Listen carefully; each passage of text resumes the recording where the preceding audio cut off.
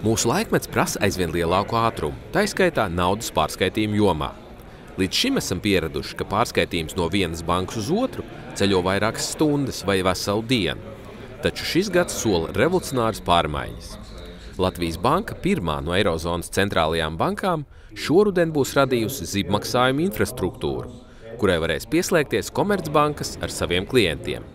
Kas tas ir zibmaksājumi? Tātad šajā gadījumā mēs runājam par starpbanku ļoti ātriem maksājumiem, dažu sekundžu laikā, jebkurā laikā, jebkurā vietā, neatkarīgi no laika zonām valsts brīvdienām un uh, viss pārējā. Tātad uh, zemaksājuma infrastruktūra kļūs pieejama jau šā gada 28. augustā. Sākotnēji dalībnieku lokus uh, nebūs liels un pakāpeniski tad jau ir apstiprinājusi dalība Citadels banka, arī pat Latvijas banka būs pieejama. Piemēram, jūs varēsiet nopirkt ar zemaksājumu mūsu kasēs jubilejas monētas, un tad pakāpeniski nāks klāt arī citas bankas. Plānos, ka klientam izmaksas nepalielināsies kaut kādās summu grupās vai grupās būs pat iespējams lētāk.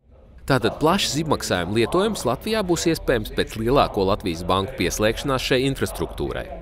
Klientu skaita ziņā lielākās mūsu bankas Svetbank un SEB plāno piedāvāt šādus pakalpojumus tikai pēc tam, kad līdzīga maksājuma iespēja tiks ieviesta Eiropas mērogā.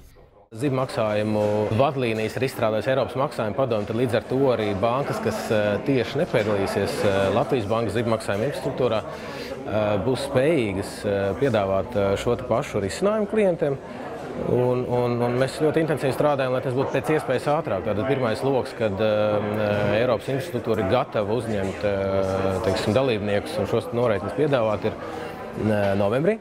Bankas uzskata, ka galvenais zemaksājuma lietojuma veids būs izmantojot mobilās ierīces. Tāpēc tālākā nākotnē tiek solīta līdz šim nebijusi vienkāršība maksājuma veikšanā viedtālruni ievadot summu un saņēmēja tālruņa numuru.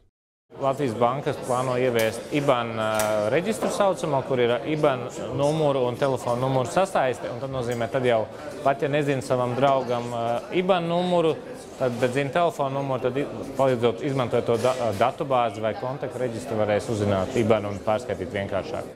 Tātad maksājumi Latvijā un Eiropā kļūst tik vienkārši un pieejami kā īsiņa vai e-pasta sūtījums. Iespējams jau šogad.